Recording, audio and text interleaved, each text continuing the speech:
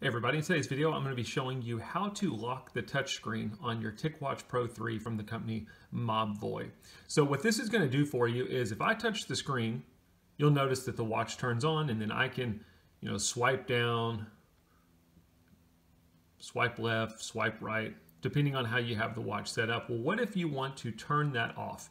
You can actually do it by going to your settings. I'm going to press the top right button and then I'm going to be looking for the icon for settings I'm to choose settings, and then I'm going to choose display. And one of the options that you have under display is if you swipe up, you've got touch lock.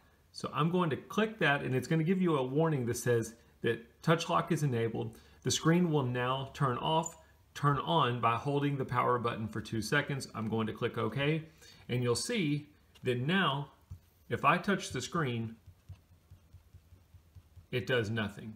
I've basically uh, disabled the touchscreen functionality. If I want to turn it back on, I'm going to press the upper right button for a couple seconds, and now I've got it back on. So now, and I'll even let it time out for you so you can see that it's back on. It's a pretty nice feature, especially if you're doing something where maybe you're hitting your wrist a lot and it keeps turning on your screen. Um, it's a pretty simple thing to be able to toggle on and off. So There we go. It's back on. That's how you toggle on and off the enabling of the touchscreen functionality. I hope the video helps.